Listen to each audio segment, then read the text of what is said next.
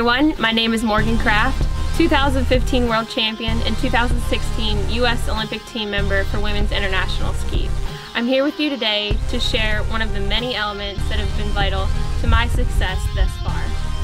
In the couple years leading up to the Olympics, I was shooting over 30,000 rounds a year.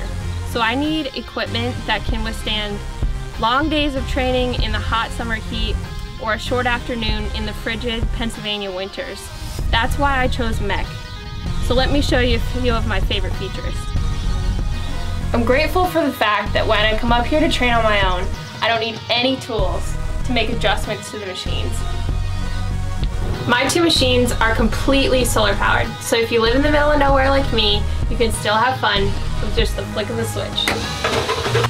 Did I mention this machine pulls over 500 targets?